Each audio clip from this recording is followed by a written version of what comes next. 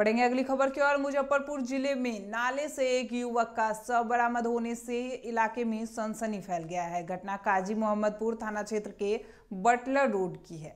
मामले में नगर डीएसपी राम नरेश पासवान ने कहा कि सब की शिनाख्त हो गई है। मृतक का नाम सुजीत राय है, जो पेशे से मजदूर बताया जा रहा है।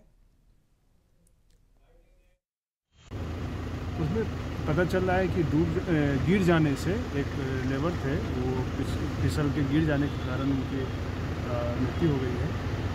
और शेष उनके परिजन के द्वारा दिए गए बयान और पोस्टमार्टम रिपोर्ट में क्या आता है उसके अनुसार मेरी समझ कार्रवाई की। पहचान वगैरह हुई है?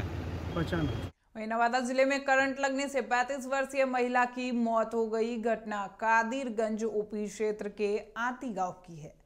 बताया जा रहा है कि आती गाँव निवासी अजय सिंह की पत्नी निभा कुमारी अपने घर में काम कर रही थी, तभी हाई वोल्टेज तार की चपेट में आकर महिला गंभीर रूप से जख्मी हो गई। परिजनों ने महिला को इलाज के लिए सदर अस्पताल में भर्ती कराया, जहाँ चिकित्सकों ने उसे मृत घोषित कर दिया। पुलिस सबको अपने कब्जे में लेकर पोस्टमार्टम के लिए भेज दिया है। मामला है सर कि करंट लग गया इनको एक कपड़ा डालने गई थी।